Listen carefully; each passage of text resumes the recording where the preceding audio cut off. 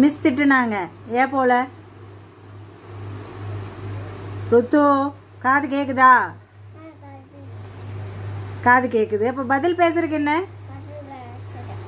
பதில் பேசுறியா? என்ன பதில் பேசுன? ஏன் ஸ்கூலுக்கு போகல? போல போல. ஏன் போல? அதான் ஏன் போகல?